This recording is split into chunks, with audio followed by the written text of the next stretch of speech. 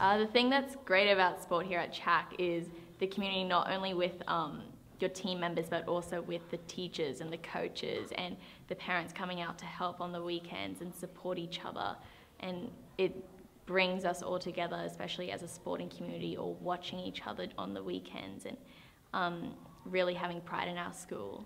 I, I, I agree with that. I think having sport each term helps with people getting their confidence and their abilities of sport and allows them to just play with others and teamwork with each other.